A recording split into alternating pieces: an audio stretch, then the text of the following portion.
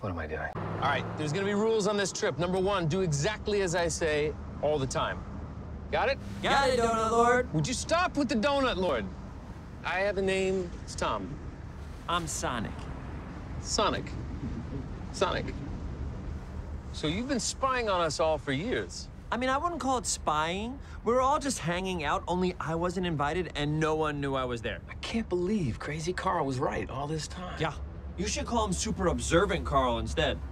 Uh-huh. Oh my god, stop the car right now! What? What? The world's largest rubber band ball? We gotta see it! No, no, no. This is not some fun family road trip, okay? The government wants to dissect you and arrest me. This is serious.